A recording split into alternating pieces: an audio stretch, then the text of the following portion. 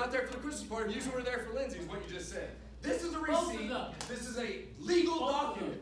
Chad, please, please. You turn around and point at me. I'm not pointing at you. You're saying. You walked all the way over and pointed at me. I didn't lay past you. I'm talking about numbers that are wrong. Are you accusing somebody of stealing? People are leaving. Are you accusing me of stealing? Good night. I Hello didn't accuse good you night. of anything. I'm the one who took the money. I have a receipt. Hello, Woody. And there's five other people. There are four other witnesses. Please, please sit down. Please sit down. Please sit down. Please sit down.